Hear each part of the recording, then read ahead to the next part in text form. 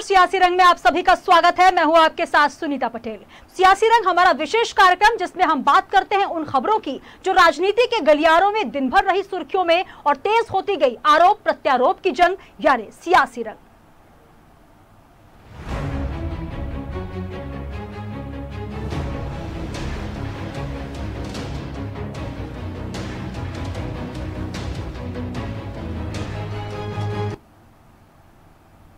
सियासी रंग में सबसे पहले बात करेंगे मध्य प्रदेश की सियासत में क्या कुछ चल रहा है। मध्य प्रदेश की 28 विधानसभा सीटों पर चुनाव होने वाले और उपचुनाव में बीजेपी हो या फिर कांग्रेस, दोनों ही दल एक दूसरे के खिलाफ ताबड़तोड़ शिकायतें दर्ज करवा रहे हैं। इस क्रम में बीजेपी प्रदेश अध्यक्ष वी शर्मा मुख्य निर्वाचन आयोग कार्यालय पहुँचे, जहाँ उन्होंने निर्वाचन अधिकारी वीरा राणा से मुलाकात करके शिकायत दर्ज करवाई। मध्य प्रदेश के मुख्यमंत्री शिवराज सिंह चौहान के बाद अब बीजेपी प्रदेश अध्यक्ष वी शर्मा ने पूर्व सीएम कमलनाथ और सांसद दिग्विजय सिंह पर आरोप लगाए हैं। साथ ही प्रदेश अध्यक्ष कमलनाथ, दिग्विजय सिंह और कांग्रेस के अन्य नेताओं के बयानों की भी शिकायत की है। जिस प्रकार से कमलनाथ और दिग्विजय सिंह ने अधिकारियों को धमकाया है इसकी भी उन्होंने शिकायत की और निर्वाचन आयोग से ये मांग की है कि ऐसे नेताओं के चुनाव प्रचार पर रोक लगाई जाए। मध्य प्रदेश के मुख्य निर्वाचन पदाधिकारी को कई गंभीर शिकायतें। कांग्रेस के पूर्व मुख्यमंत्री कमलनाथ और दिग्विजय सिंह ने जिस प्रकार से मध्य प्रदेश के अधिकारियों और कर्मचारियों को धमकाने का जो प्रयास किया है और अन्य कई मुद्दों पर हमने उनको भी शिकायत दर्ज कराई है। और मुख्य निर्वाचन पदाधिकारी से हमने मांग की है कि इस प्रकार के नेताओं के चुनाव प्रचार पर प्रतिबंध लगाया जाए, उनके खिलाफ कड़ी कार्रवाई की जाए। लगना शुरू हो चुका है। 28 विधानसभा सीटों पर ये उपचुनाव होने हैं और जहाँ प्रचार प्रसार का क्रम जारी है, वहीं शिकायतों का भी क्रम जारी है। आपको बता दें कि प्रदेश अध्यक्ष वी शर्मा पहुँचे, निर्वाचन आयोग से शिकायत की और उन्होंने ऐसे तमाम नेताओं के चुनाव प्रचार पर रोक लगाने की मांग की है, जो लगातार ऐसी बयानबाजियाँ कर रहे हैं, जो कि राजनीति के लिए ठीक नहीं है। हालाँकि हर तरफ़ से इसको लेकर आरोप प्रत्यारोप लग रहे हैं। तो पूर्व सीएम कमलनाथ और सांसद दिग्विजय सिंह पर उन्होंने गंभीर आरोप लगाए हैं। प्रदेश अध्यक्ष कमलनाथ, दिग्विजय सिंह और कांग्रेस के अन्य नेताओं के बयानों की शिकायत दर्ज कराते हुए उन्होंने कहा है कि ऐसे नेताओं के जो रैलियाँ हैं, जो चुनाव प्रचार हैं, उन पर रोक लगाई जानी चाहिए। तो निर्वाचन आयोग से मांग की है वी शर्मा ने। मध्य प्रदेश में आगामी जो उपचुनाव होने हैं 28 विधानसभा सीटों पर, उस पर लगातार चुनाव प्रचार चल रहे हैं। तमाम दिग्गज, चाहे वो कांग्रेस के हों या फिर बीजेपी के, तम अपने अपने प्रत्याशियों के पक्ष में चुनाव प्रचार करने के लिए उतरे हैं और चुनावी रणनीति के तहत लगातार कुछ ऐसे भी बयान दिए जाते हैं जो कि सुर्खियों में रहे हैं। तो शिकायत करते हुए उन्होंने ये आरोप लगाए हैं कि तमाम ऐसे नेता, चाहे वो किसी भी पार्टी के हों, उनको रोकना चाहिए, लेकिन वी शर्मा ने साफ़ तौर पर कहा है कि ऐसे नेताओं के चुनाव प्रचार पर भी रोक लगा देनी चाहिए। इस तरफ़ मध्य प्रदेश में जो सियासी दांवपेच है, उसके बीच राज्यसभा सांसद ज्योतिरादित्य सिंधिया ने सावेर के चंद्रवतीगंज में जनसभा की और इस दौरान सिंधिया ने कमलनाथ और दिग्विजय सिंह पर जमकर निशाना भी साधा।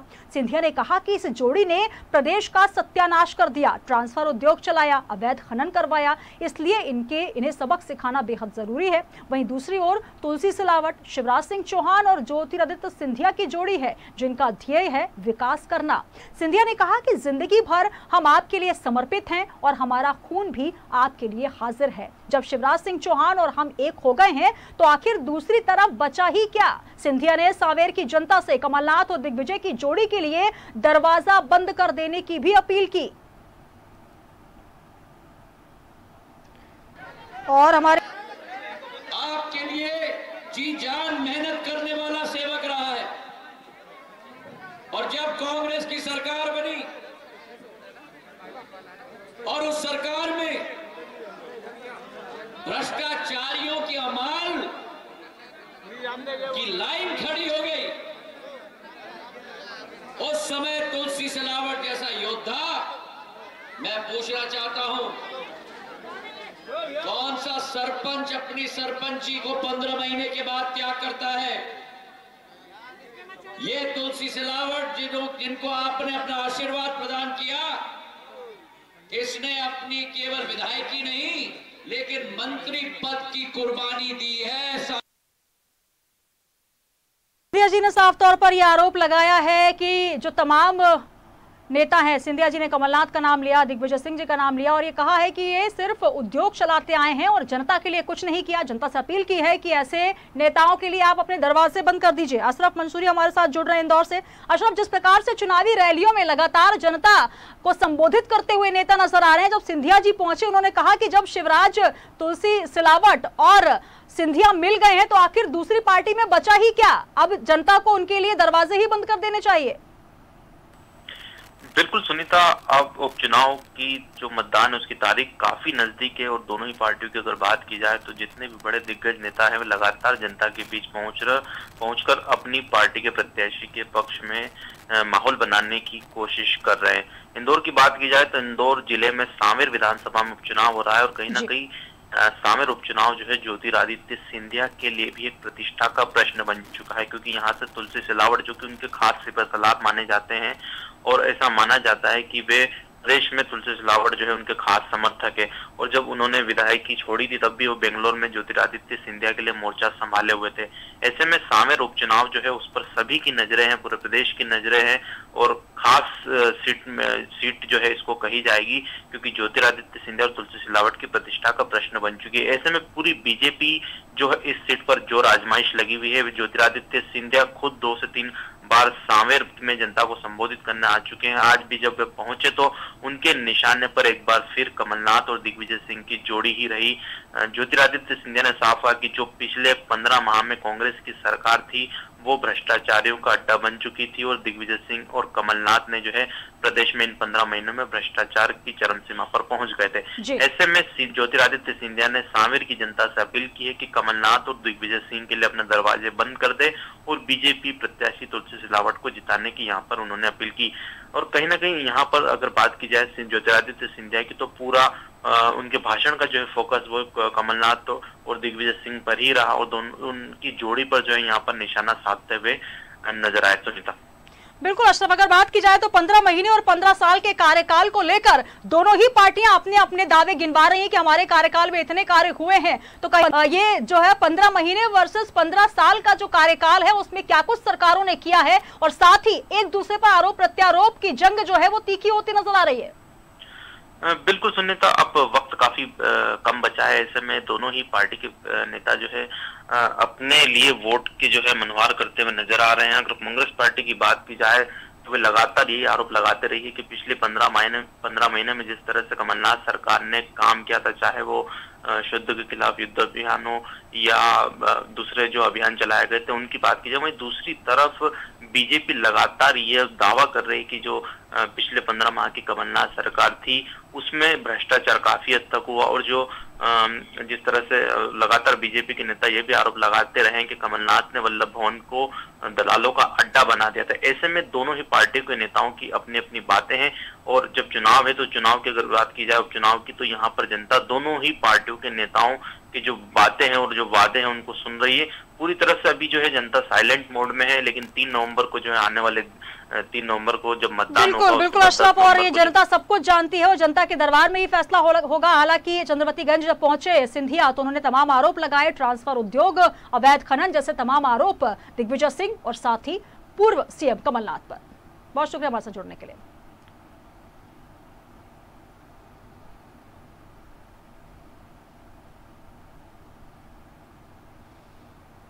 तो उपचुनाव को लेकर लगातार आरोप प्रत्यारोप की जंग शुरू हो चुकी है। तमाम जो पार्टी के दिग्गज है, वो पहुँच रहे हैं। जनता से अपील कर रहे हैं, लेकिन इस बीच अपनी अपनी पार्टी के जीत के दावे भी कर रहे हैं। कोटा विधायक रेणु जोगी ने पीसीसी चीफ मोहन मरकाम के खिलाफ गोरेला पेंड्रा मरवाही ज़िले के पुलिस अधीक्षक और निर्वाचन आयोग के ऑब्जर्वर से शिकायत कर अपराध दर्ज किए जाने की मांग की है। तो वही दूसरी ओर रेणु जोगी को भी अब अमित जोगी के बाद हाट बाजारों में जनसंपर्क करने के आवेदन पर मंजूरी देने से सहायक निर्वाचन अधिकारी ने इनकार कर दिया है।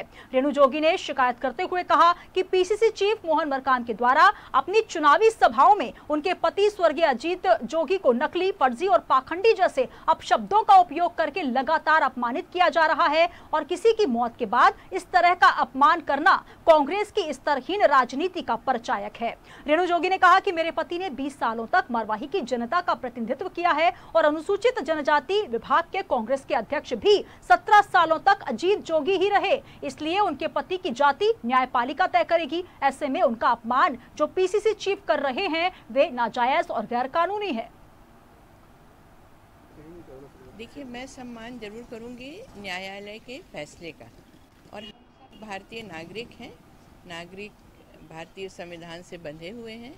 और आने दीजिए ना मतलब न्यायालय का फैसला, उसका सम्मान करूँगी। छानबीन समिति तो गठित है पूर्व में भारतीय जनता पार्टी के द्वारा, वर्तमान में भी उसकी अध्यक्ष मतलब वही है, जो पहले थी। नाम लेना नहीं उचित समझती हूँ। फिर भी मतलब जो आईएएस अधिकारी हैं, रीना बाबा साहब कंगाले जी तो वो जो सत्ता रहती है, अधिकारी इतने दबे हुए हैं उनके प्रभाव से या उनके दबाव में, कि वो जो चाहते हैं वही होता है।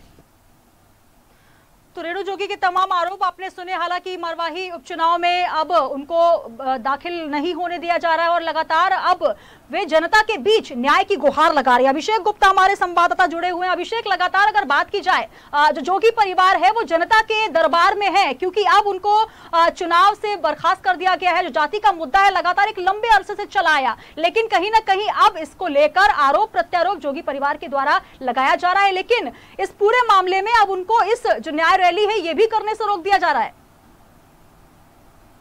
चाहूँगा कि कोटा विधायक रेणु जोगी जेसीसी पार्टी के सदस्य जो हैं, उन्होंने निर्वाचन कार्यालय में जाकर शिकायत की है पीसीसी मोहन मरकाम एवं अन्य कांग्रेसी नेताओं से जो स्वर्गीय अजीत जोगी जो यहाँ मरवाही के पहले विधायक थे, उनके खिलाफ नकली आदिवासी इस तरह के अपशब्दों का प्रयोग कर रहे हैं।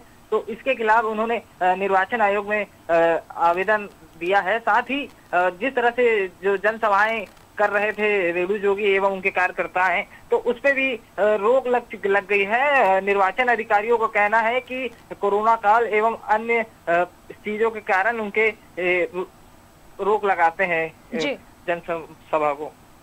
बिल्कुल, अभिषेक, इस पूरे मामले में देखा जाए तो जिस प्रकार से जनसभा को संबोधित कर रही है रेणु जोगी और पूरा जोगी परिवार, लेकिन कहीं ना कहीं अब उनका ये कहना है कि जब कांग्रेस में रहे उनके पति अजीत जोगी, सत्रह सालों तक वे रहे, तब इस मामले को लेकर कोई बात नहीं हुई, लेकिन अब जब उन्होंने अपनी पार्टी अलग से बना ली, तब से लेकर यह सवाल, और इस बीच अब अगर इस पूरे मामले में बात की जाए तो एक और पक्ष भी निकल कर आया, छत्तीसगढ़ प्रदेश कांग्रेस की उपाध्यक्ष, समाज कल्याण बोर्ड की चेयरमैन करुणा शुक्ला ने भी कहा कि जब ये मामला पहले बीजेपी के पास रहा तब क्यों नहीं इस मामले को लेकर कुछ कहा गया? तो कुल मिलाकर दोनों तरफ़ से दोहरी मार जो है वो जोगी परिवार को झेलनी पड़ रही है। जी आपको बताना चाहूँगा कि लगातार ही इससे पहले सत्रह साल कांग्रेस में थे तो कांग्रेस का रुख नरम था और भाजपा के तर्क रूप देखने को मिलता था लेकिन जब से कांग्रेस से छोड़ के जेसीसी पार्टी बनाई है साथ ही आ, अभी अजीत जोगी के निधन के बाद से ही भाजपा का रुख अब नरम दिखाई देता है लेकिन जोगी परिवार के लिए मुश्किलें लगातार मरवाही चुनाव से बाहर होने के बाद भी बनी हुई है कि जिस तरह से न्याय यात्रा निकाल रहे हैं, उसमें भी रोक लग गई है तो ये भारी दिक्कतों का सामना कर रही है जोगी परिवार।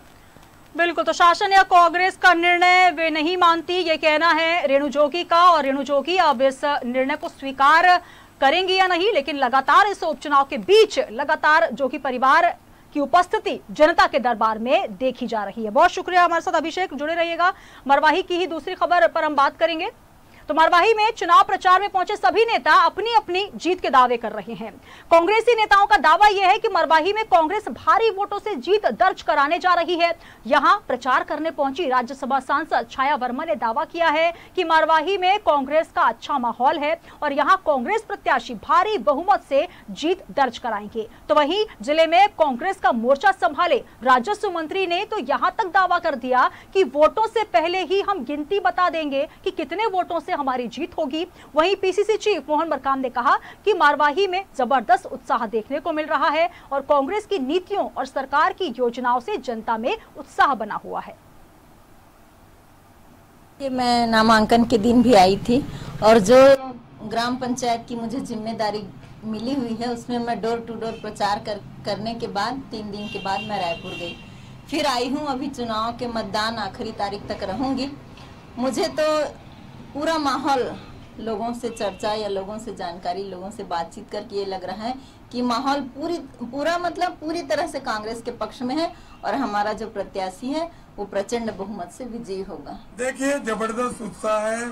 यहाँ के सभी नागरिक, यहाँ की जनता लगातार हमारी बातों को सुन रहे हैं और कांग्रेस पार्टी की नीतियों, सरकार की योजनाओं से प्रभावित हुए हमें लगता है जो बीजेपी के प्रत्याशी है, डॉक्टर गंभीर सिंह इस गाँव से भी हम लीड करेंगे, ऐसा मगर जो हमें सूचना मिली है, जो भी यहाँ से मरीज़ जाते थे, उनके साथ भी अन्याय किया है, उनकी सेवा ना करके अनाप शनाप रेट में यहाँ तक कि कोई किसी की डेथ हो गई थी, और उनको जब तक पैसा नहीं दिया गया, उनको तो मरवाही उपचुनाव की जंग में तमाम दिग्गज डेरा डाले हुए हैं। लगातार चुनाव प्रचार की रैलियाँ चल रही हैं और इस बीच प्रचार करने पहुँची राज्यसभा सांसद छाया वर्मा, जिन्होंने अपनी जीत का दावा किया है। तो कांग्रेस के तमाम नेता ये दावा कर रहे हैं कि कांग्रेस की ही जीत मारवाही उपचुनाव में होगी। अभिषेक गुप्ता हमारे साथ जुड़े हुए हैं।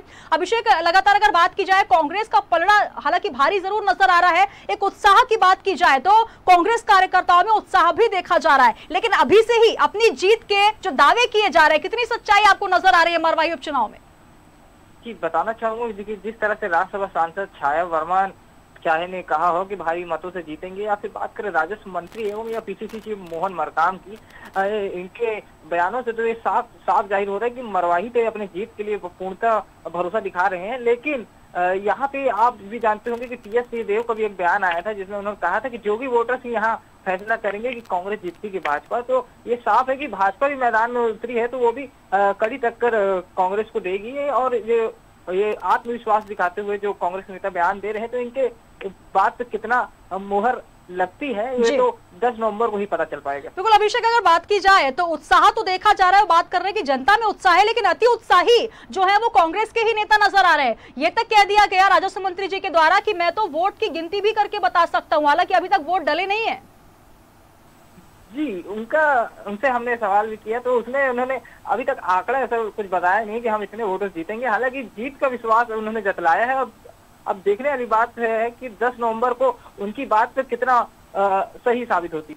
चलिए बहुत शुक्रिया हमारे जुड़ने के लिए। तो कांग्रेस प्रत्याशी भारी बहुमत से जीत दर्ज कराने की बात कर रहे हैं और ये भी कहा जा रहा है कि कांग्रेस का पलड़ा भारी है। हालाँकि वोट से पहले ये बताना बेहद जो है नामुमकिन है क्योंकि जनता ही ये तय करेगी कि आखिर मरवाही उपचुनाव में किसकी जीत दर्ज होगी।